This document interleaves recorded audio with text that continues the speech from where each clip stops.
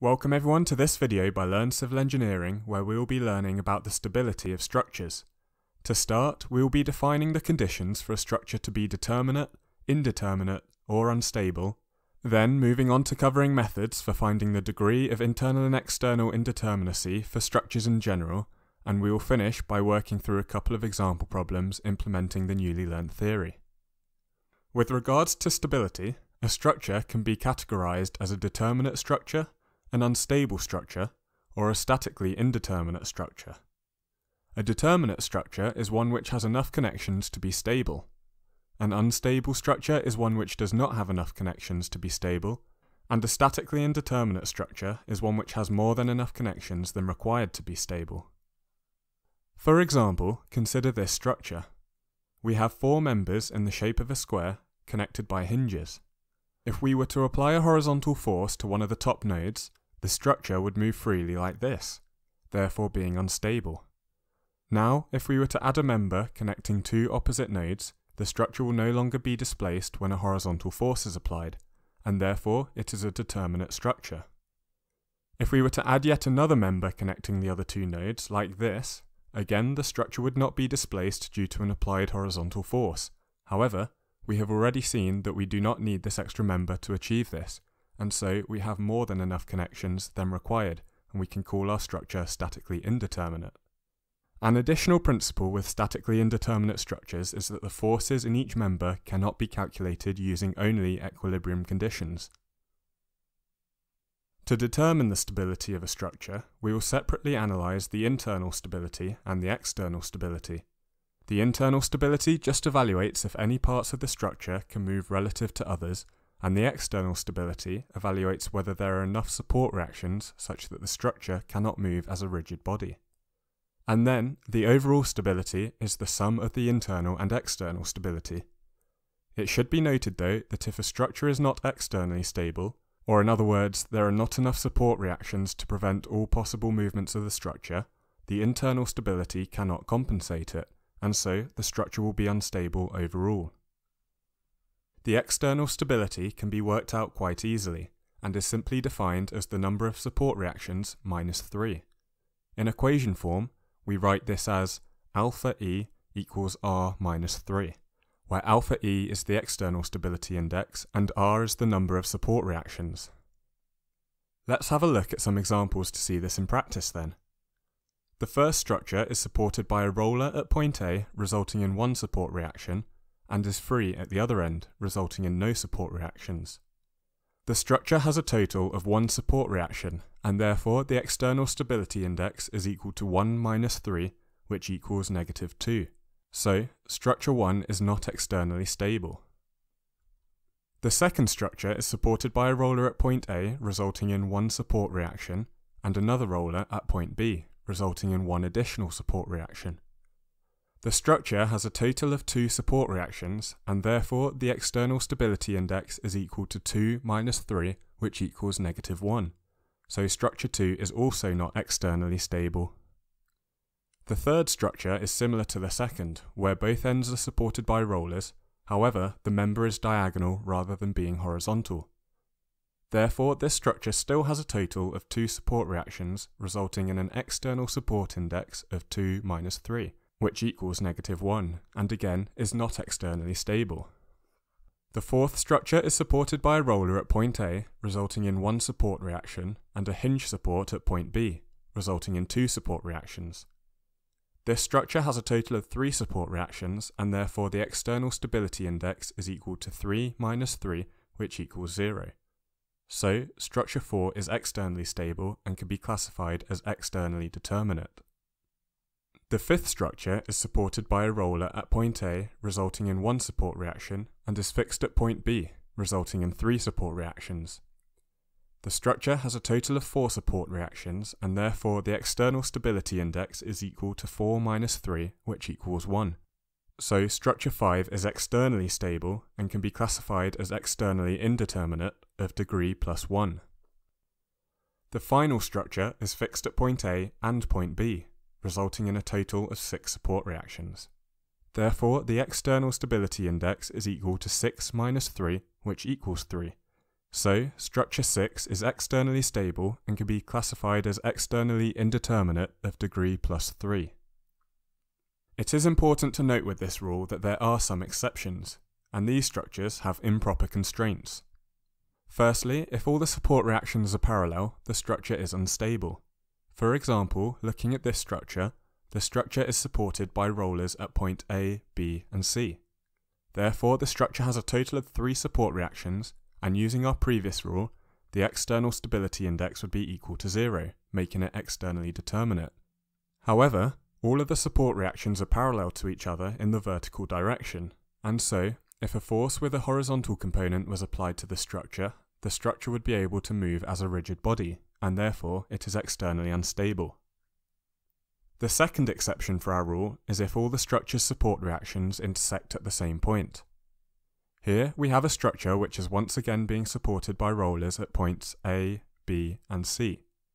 Again, the structure has a total of three support reactions, and using our previous rule, the external stability index would be equal to zero, making it externally determinate. However, all the support reactions intersect at a single point as we can see here. And so, if a force were applied to the structure such that the line of action did not pass through the point of intersection of the support reactions, the force would create a moment relative to that point and the structure would move as a rigid body, and therefore the structure is externally unstable. The internal stability of a structure is a little bit more complicated. Here we will start off with the simpler method for determining the internal stability of a generic structure, and we will look at a more thorough method in a future video when we have learnt about trusses. So for the simpler method, we will state that a structure that looks like a tree is stable. And by tree, I mean a structure that has no releases and no closed loops. Here are a couple more examples of structures that looks like a tree. For now though, we will consider this example. This structure contains no releases and no closed loops, and therefore it is statically determinate. Now, let's have a look at a very similar structure. However, our second structure has a closed loop here. If we were to transform our second structure into something like our first structure, we would be required to include three releases. A hinge to release the moment, a shear release and an axial release to release the shear and axial forces respectively. Therefore, the second structure has three more connections than the first structure, and it has three more connections than is needed to be internally stable. Thus, it is internally indeterminate of degree plus 3. Now let's have a look at a third structure, again similar to the previous two. This structure has a closed loop and a hinge between two of the members. For general structures like this, hinges between members correspond to releases, which reduce the degree of stability by 1. If the hinge connects more than two members, like this, the degree of stability would be reduced by the number of connected members minus 1, which would equal 2 for this example. Therefore, for our third structure, the closed loop adds 3 to the degree of internal indeterminacy, and the hinge subtracts 1. Therefore, the degree of internal indeterminacy for structure 3 alpha i is equal to 3 minus 1, which equals plus 2. Finally, let's have a look at another similar structure. This fourth structure is most similar to the first, in that it does not have a closed loop, however this structure does have a hinge connecting two members. For this structure then, the degree of internal stability is equal to negative 1, and so the structure is internally unstable. We can now determine the total stability of a structure by summing the external and internal stabilities. But again, remember that an externally unstable structure will always be unstable, regardless of the internal stability. So let's have a look at an example problem where we must calculate the support reactions for a structure that is externally indeterminate but internally unstable. The structure is being supported by hinge supports at point A and B, and therefore has a horizontal and vertical support reaction at both of these points, as denoted in the diagram. Working out the degree of external indeterminacy, we get alpha E is equal to 4 minus 3, which equals plus 1.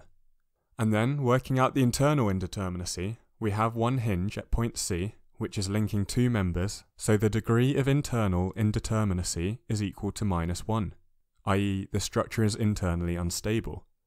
However, Summing the external and internal degrees of indeterminacy, we get 1 minus 1, which equals 0.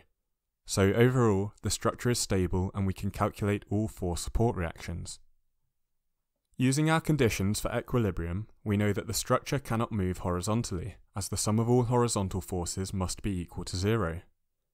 We also know that the structure cannot move vertically, as the sum of all vertical forces must be equal to zero, and we also know that the structure cannot rotate around a specified point, as the sum of all moments relative to a point must be equal to zero. For this structure though, there can be another type of movement, where the member to the right of the hinge can rotate in relation to the member to the left of the hinge. To prevent this, we must ensure that forces and moments applied to the structure on the left side of the hinge do not cause a moment relative to the hinge, and the same goes for the forces and moments applied to the right side of the hinge. Therefore, considering the left side, the sum of all moments applied to the left side of the structure relative to the hinge must be equal to zero. So let's apply these equations to our structure. Taking the x-coordinate direction to be positive, the sum of all horizontal forces is equal to Rxa plus Rxb equals 0. Taking the y-coordinate direction to be positive, the sum of all vertical forces is equal to Rya plus Ryb minus 5 equals 0. Taking anticlockwise rotation to be positive, the sum of all moments relative to point B is equal to minus Rya times 10 minus Rxa times 2 plus 5 times 7 equals 0. And finally, the sum of all moments applied to the structure on the left side of the hinge is equal to minus Rya times 6 plus 5 times 3 equals 0. Now we just need to work through the equations to find the unknown support reactions.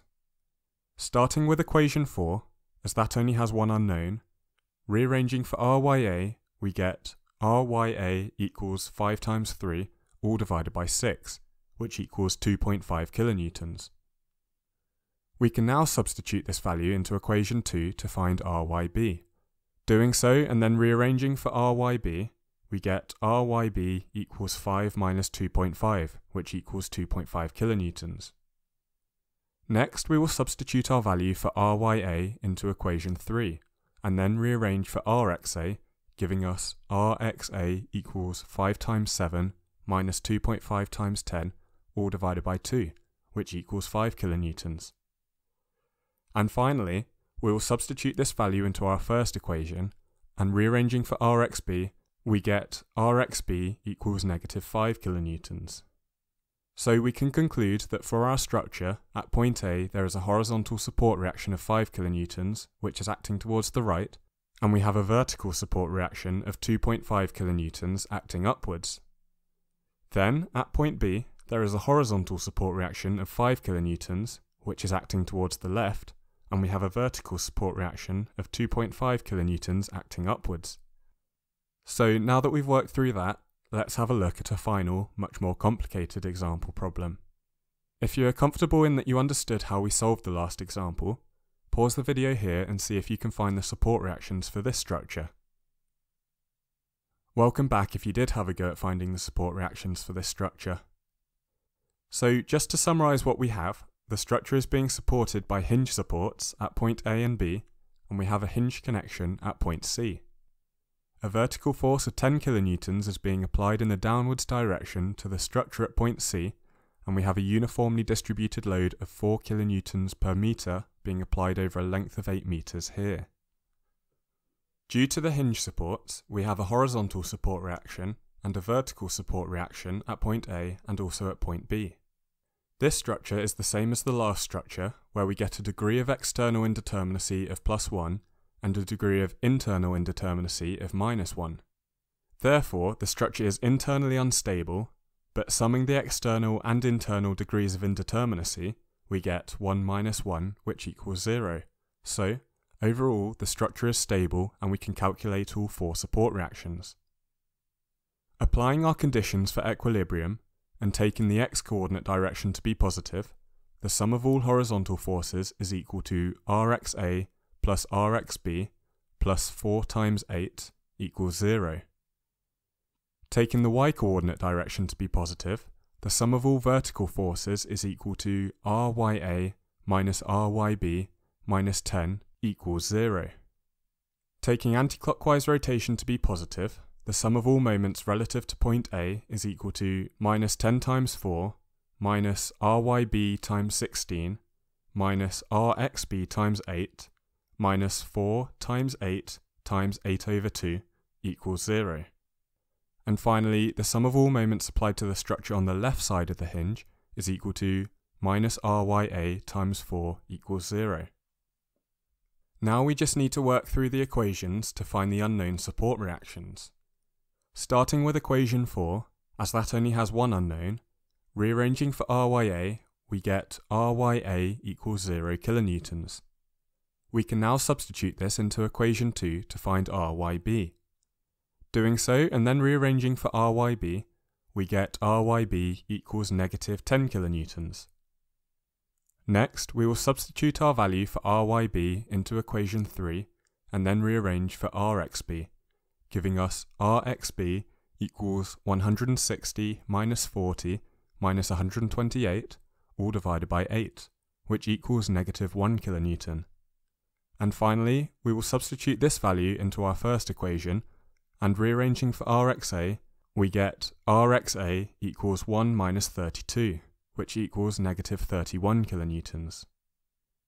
So we can conclude that for our structure at point A, there is a horizontal support reaction of 31 kilonewtons, which is acting in the left direction, and we do not have a vertical support reaction, as Rya is equal to 0.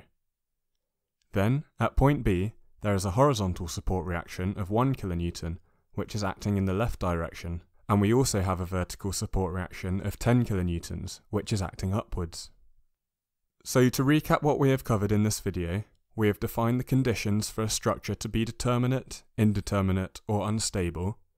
We have covered methods for finding the degree of internal and external indeterminacy for structures in general, and we have worked through a couple of example problems implementing the newly learnt theory. This has been a video by Learn Civil Engineering. If you have found this video useful at all, please leave a like and subscribe to the channel to show your support. If you do have any remaining questions or would like me to cover a specific topic, please leave them in the comment section below and I will try to respond as soon as possible. Thank you for watching.